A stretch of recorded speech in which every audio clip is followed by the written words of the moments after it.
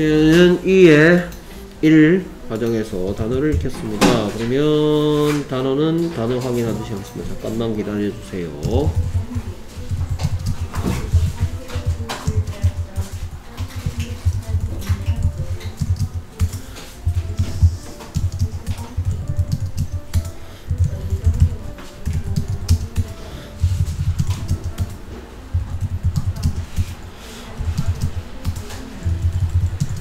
자, 이런 녀석들 배웠습니다. 그러면 소리 내고 스펠링 불러주세요. grandfather grandfather, G R A N D 오, F A.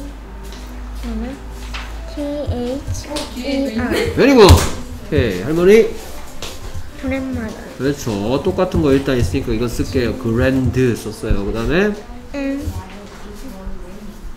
N T H E R 그렇죠. grandmother. 네, grandmother 이렇게 발음 안 해요. 실제로 들어보면 grandmother. 뒤, 뒤 소리가 힘이 없어서 사라져 버려요.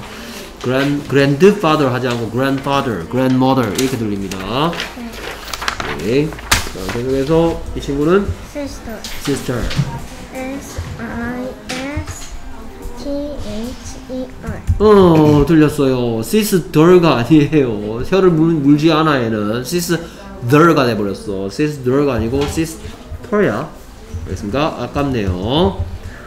오케이. 그러니까 가족 관계는 느 소리, 혀를 살짝 무는 것들이 많이 들어있습니다. father, mother. 하지만 sister는 아니야. sister야 얘는. 오케이. 그냥 친근하게 부르는 아빠, 네 dad는 그냥 알겠죠. 엄마는 mom 알 거고요. 자, 남자 형제는 음, brother brother 어떻게 쓰죠? B R 오. T E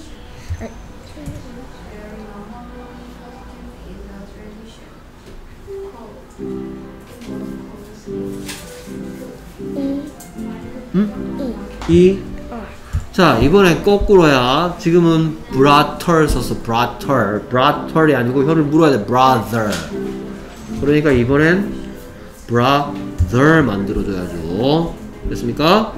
그러니까 어떨 때 ter고 어떨 때 the인지 구분하고 기억하고 있어야 돼요. brother, father, mother. 근데 sister.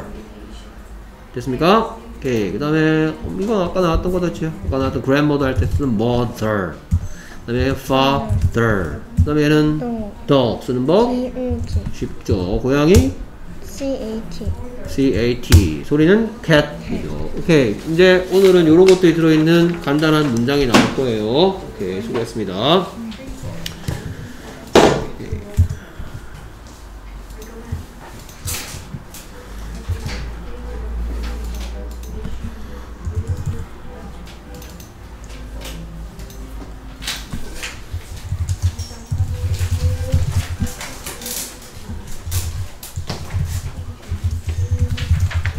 앉으라고 하실 거죠? 저 앞에다 좀 놔줘.